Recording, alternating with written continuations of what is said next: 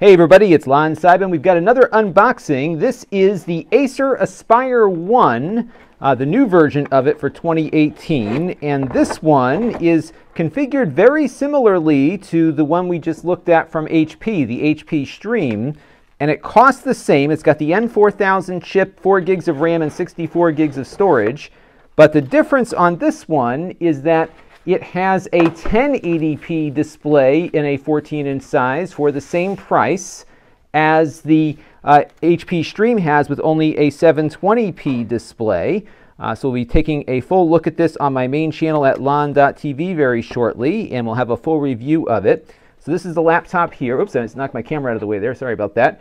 Um, this is a laptop here, and it actually has a lot more screen movement here than the HP does as well. So you don't have a true uh, two-in-one, but look at the hinge on this thing. It goes all the way down like that. So it's definitely got some uh, added flexibility there. So a little bit more flexibility and perhaps damage prevention on the display.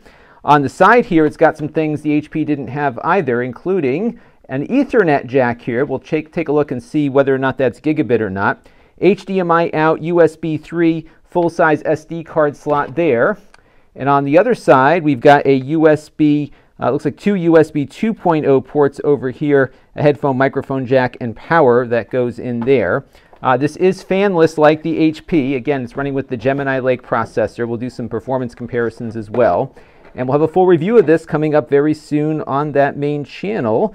And it might be a better value, dollar for dollar, than the HP is. Couple other things in the box here is just the power adapter and the cable to go with it. All right, here's the inside. I should add, by the way, this came in free of charge through the Amazon Vine program. However, nobody is paying for this review, nor has anyone reviewed or approved what you're about to see before it was uploaded. Uh, so inside here, we have no real path to upgradability. I suppose you could swap out the uh, wireless card here. It looks like it's got one of those uh, little PCI slots in this thing. So you might be able to maybe get some storage working over there, but generally the uh, storage and RAM are not going to be upgradable on this device at all. Uh, the HP did have the ability to swap out the RAM, but this one does not appear to have that available as an option there. It looks like they have some empty room here in the case, so there's probably some variations of this machine in different regions, but this one here in the US uh, appears to be not upgradable at all. So I'm going to put this back together now. We're going to have a full review coming up very soon on the main channel at lon.tv, so stay tuned. This channel is brought to you by the lon.tv supporters, including gold level supporters Chris Allegretta, the Four Guys with Quarters podcast, Tom Albrecht, Bill Reiner,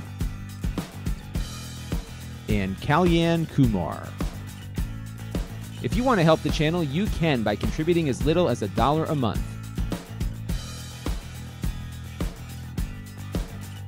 Head over to lon.tv slash support to learn more.